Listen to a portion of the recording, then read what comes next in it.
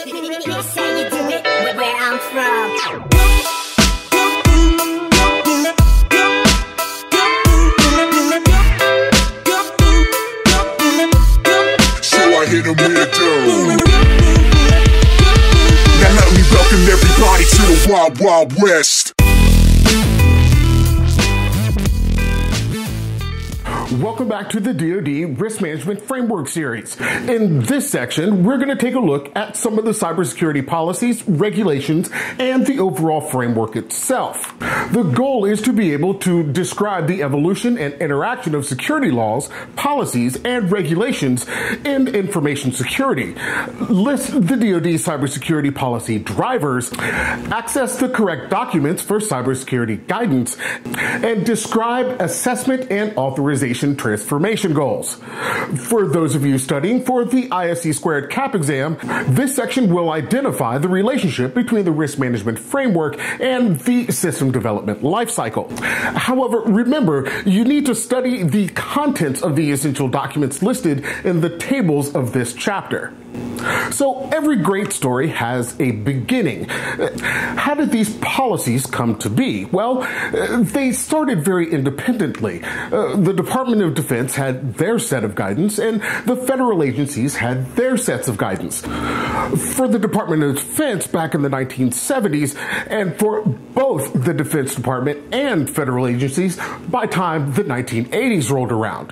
It started with the 5200 series. Uh, some of you more seasoned veterans will remember the Rainbow series, a series of books all color coded uh, to tell us exactly how to do specific items.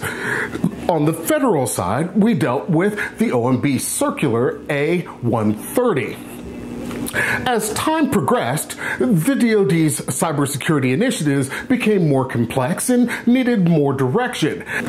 Approximately this same time, right there in 1997 96 or so, we have the introduction of the Clinger Cohen Act. Remember, anything that ends with an act means that it's a law. That means that it came out of Congress. Fast forward to 2002, and Congress introduces FISMA, the Federal Information Security Management Act. On the other side, we have the DoD, and they finally introduce a standard control set within the accreditation process. 2004, we see the introduction of the NIST 837, and 2005, 2006, the 853 and the accompanying FIPS 200. Now, on the DoD side, we have the DoD 8510. This was the original introduction of DIACAP an updated and better process than DITSCAP, but still not quite perfect. However, looking at the two documents side by side, the 853 series and the 8500.02, which was the control set document for DIACAP, there is striking similarities. We'll get into a little more of that later. So, remember I told you that FISMA, it's, it's a law, and all federal systems, now including the Department of Defense, must report back to OMB at the end of each calendar year no later than December 31st. So, who is OMB and what do they do? Well, some of the main functions of OMB include maintaining the government budget, federal finance management, and data collection. Now, when it comes to NIST, the Computer Security Division has several documents that you must be familiar with, starting with, of course, the FISMA implementation project. Then, the standards for categorizing, that is FIPS 199, the standards for minimum security requirements, FIPS uh, 200, guidance for selecting security controls, which would be special publication 53, and guidance for assessing those controls would be 853A, assessing A kind of tricky, right? Uh, the guidance for security authorization, uh, the original 837, and how to set up your continuous monitoring 800 137. So, what are the policy drivers that got us to this point? Well, one of the most important drivers is the integration with the other federal agencies. Uh, networks have grown up and out. They're no longer self contained little boxes. At some point in time, every system is going to connect to another within the federal government. Also, increased network growth and globalization, increased threat sophistication, and increased speed and connectivity. All of these are integral drivers as to why the entire federal system had to get on one standard set of guidance. Now, you'll notice here that I crossed out compliance. Uh, why? The risk management framework is not about compliance. It's not a series of checklists. It's it's designed to be what is best for the system. It's not like DIACAP. We're going to get into this in a little more detail, but you'll notice that I will keep crossing out the word compliance and just in your mind, insert the word security posture. Understand what we're looking for is efficiency for real security enforcement, not just a documentation trail. So, what is the individual benefit to the individual stakeholders? Well, the CIO, for instance, uh, standardizes the IA language across the entire federal government. Finally, we're all talking the same language, whereas the warfighters, uh, they can get more rapid development of solutions that they need to go fight the fight. For business system owners, you find more consistent and assured protection of individual privacy and data support supporting the DoD business systems themselves, and for system developers, an increased coordination and integration of security into the systems development and acquisition process. At the end of the day, it's all about efficiency everything you see here is efficiency driven. Now, I know that it does take a long time, and we're going to walk through the timeline on how to start with an RMF package from start to finish, but you only have to do it once. Once that system has been properly categorized, once the controls are selected, the overlays are worked, you're done. All you have to do at that point is maintain. So, some of our transformation goals as we move into the framework uh, are to define a common set of trust levels and to adopt and apply them using the CNSSI 1253 across all intelligence communities, DODs, and other federal agencies. To adopt reciprocity. No need to continuously reauthorize systems just because they're moving from the Air Force to the Marine Corps to the Army and maybe to the Department of Energy. Next is to define, document, and adapt common security controls. This is done using the NIST Special Publications 853 as the baseline adopt a common lexicon. Get us all talking the same language so we can approach the mountain of cybersecurity issues all speaking the same language. To institute a senior risk executive function. Now, it's important to understand that this is a function. It takes the whole family. It takes intelligence. It takes your classic six element, whether it's G6 or N6 or S6. It's going to take the two and the three and the four and the eight, the whole family, everyone that has a security function must be an integral stakeholder in the risk management framework. And next, to enable a common process consistency. The easiest, strongest systems are ones that are predictable. With a predictable baseline, you have a predictable outcome. Being able to manage the system throughout its entire life cycle is paramount. So, the Director of National Intelligence approach to policy and standards was to establish the ICD 503, and they will continue to develop the intelligence community standards as appropriate for those required systems. However, they will be leveraging the existing NIST special publications, bringing the intelligence community more in line with FISMA and it assigns the Inspector General audits, which are based on the NIST standards. consistency and align with the rest of the federal government to support overall reciprocity.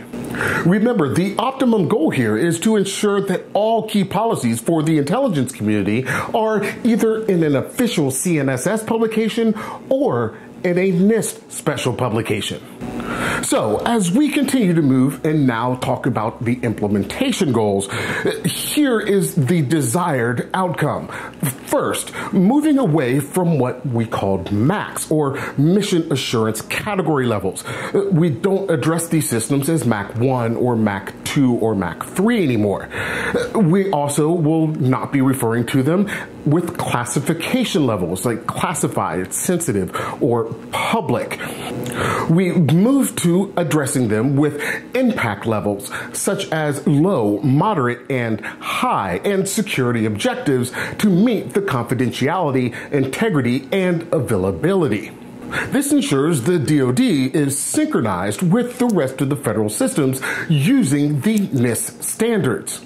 Next, reciprocity inside the DoDI 8510-01. Next, the DoD will use the NIST 853 Security Control Catalog with DoD-specific assignment values, implementation guidance, and valuation processes. Remember, the goal here is to ensure that the DoD Security Catalog categorization and control processes are in sync with the NIST standards. Next, continue to incorporate new IT structure and other new risk management framework terms into the CNSSI 4009 and continue its use as the official glossary of terms throughout the 8500 series. Next on the list is to continue the DoD enterprise governance structure and strengthen the interfaces to the intelligence community enterprise governance. This is implemented through the DoDI 8500.01 and 8510.01. Next, to continue the co-evolution of security control categorization and selection. Uh, the risk management framework, IA component of the gig integration architecture alignment framework for gig IA and other supporting elements of the gig technical framework and gig IA portfolio. And lastly, to incorporate transformation concepts into DoD policies that adopt new concepts via enterprise governance and promulgate via knowledge service, as well as continue to influence the Gig IA portfolio for configuration management, automated monitoring, and other enablers. Next, let's take a look at how the risk management framework integrates with the system development lifecycle. You'll see that there is a specific step to do at every piece of the classic system development lifecycle. So let's walk through the steps one by one. First, initiation. Next, development and acquisition. Third, implementation. Fourth, operation maintenance. And fifth, disposal. Now let's take a look at which step of the risk management framework fits with which step of the system development lifecycle. Initiation, step one. Development and acquisition, step one, step two, step three, step four, and step six. Implementation, step three, four, and five. Operation and maintenance, step six. And disposal, step six. There is an action for security to take in every step of the system development lifecycle. This is where we get the bumper sticker baked in, not bolted on. So, how has the process changed? Well, let's take a look. So, from DIACAP, the old 8510, to Risk Management Framework, the new 8510, really, it's just a change in language. There's a lot of similarity here. We used to address systems as MAC and confidentiality level, and now simply impact level and sensitivity objectives. We used to have some rigid information system definitions. Those definitions have been expanded to align better with the CNSSI 4009. The DoD had their own defined set of security controls. Now we have a universal set of security controls across all federal systems. We used to have the CNA process, or certification and accreditation. Now we have the ANA process, assess and authorize. So, paying close attention to the proper guidance documents, uh, where we had the 8510.01, 8500.01 and 02, the DIACAP instruction, the CNSSI 1253 has been condensed to the 8510 itself, which will point you to the 853 series and the CNSS 1253.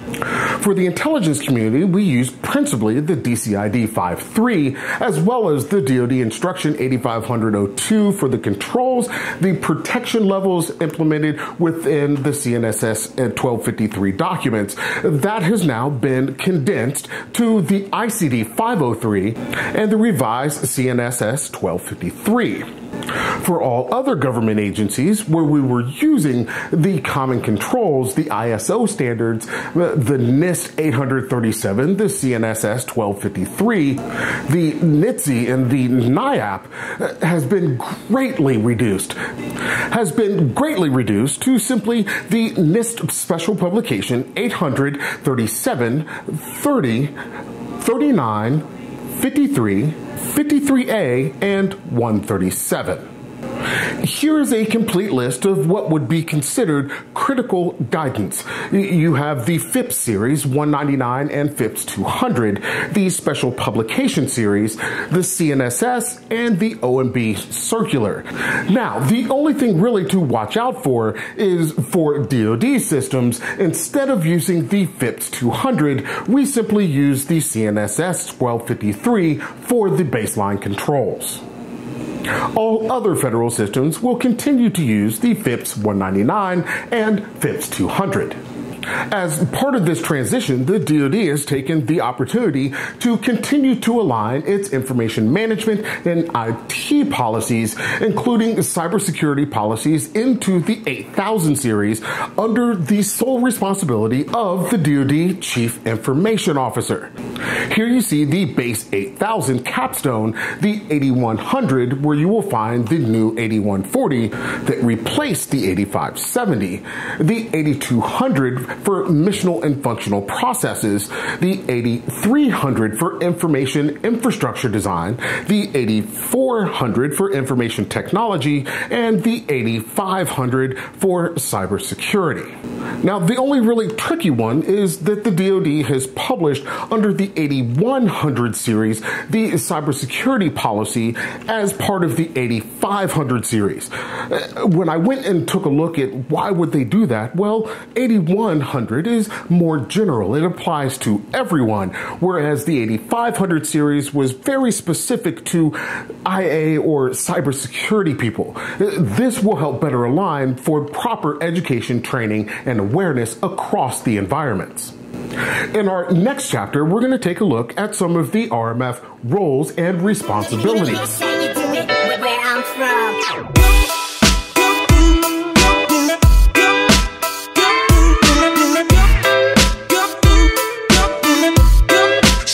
With a dough. Now let me welcome everybody to the Wild Wild West.